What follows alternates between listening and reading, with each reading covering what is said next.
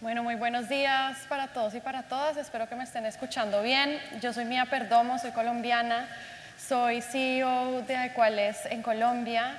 Eh, aquí también está presente mi socia Andrea de la Piedra, quien es la CEO en Perú. Nosotras creamos hace cuatro años una organización que promueve el cierre de brechas de género en el ámbito laboral. Resulta que hace cuatro años nosotros empezamos a ver las cifras de las mujeres en posiciones de liderazgo en Latinoamérica y nos dimos cuenta que sin duda nos estábamos estrellando contra un techo de cristal. El techo de cristal seguramente es un concepto que algunos de ustedes habrán escuchado, es aquella barrera invisible que impide que las mujeres lleguen a posiciones de liderazgo. Y se dice que es de cristal porque no se debe a su educación y no se debe a su experiencia, sino que definitivamente recae sobre su género y sobre el peso que hemos puesto sobre las mujeres con respecto a la carga familiar, con respecto a estereotipos. Entonces nosotros dijimos, bueno, nosotras estábamos jóvenes, no queremos saber qué va a ser nuestro destino y construimos una organización que le enseña a las empresas a romper esos techos de cristal. Lo primero que hicimos fue crear un proceso de consultoría, entonces mediante diagnósticos, políticas, procesos y formación acompañamos a las empresas para que sepan cómo mejorar las condiciones para hombres y mujeres en Latinoamérica y lo segundo que hicimos, que seguramente es lo más reconocido acá y también en Colombia, es el ranking PAR.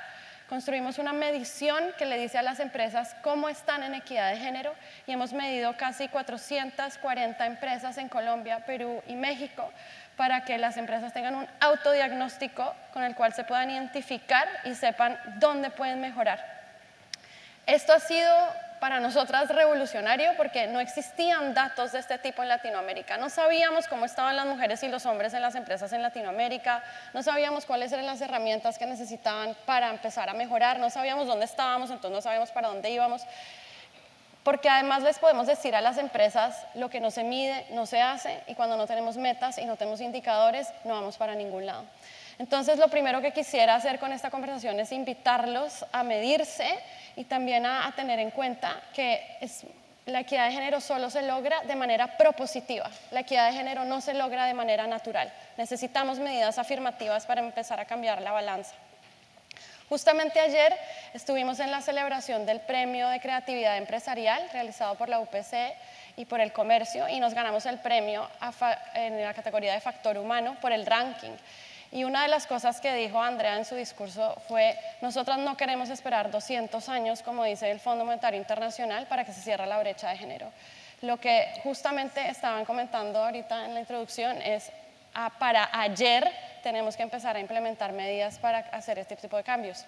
Y hay una última cosa que quisiera mencionar que es, es importante y es la equidad de género, como Carmen bien decía, además de ser un tema de ética y de justicia, es un caso de negocio. Y ya sabemos que las empresas que tienen más de 30% de mujeres en posiciones de liderazgo son más rentables de un 15 a un 26% que las empresas que no tienen mujeres en posiciones de liderazgo. Entonces, realmente si lo que nos interesa es el negocio, si no tenemos mujeres en posiciones de liderazgo, estamos perdiendo plata. Y eso es justamente lo que ninguna empresa quiere ni queremos para ninguna economía. Este es el discurso con el que nosotras trabajamos con los CEOs, con los comités directivos y consideramos que ha sido bien recibido porque además estamos investigando al respecto y estamos probando el caso de negocio en Latinoamérica. Para darles unas cifras, en el Perú en este momento tenemos solamente 19% de mujeres en las juntas directivas. Tenemos 27% de mujeres en primer nivel y 33% de mujeres en segundo nivel. En Colombia tenemos un 10% más para todos estos niveles.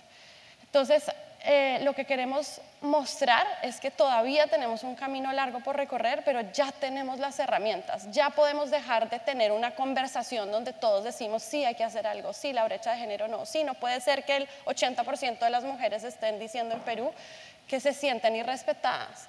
Tenemos que pasar de la conversación a las metas, a los indicadores y a probar que esto funciona no solo para el país y el desarrollo, sino también para la economía y para nuestros negocios. Entonces esa es mi primera invitación.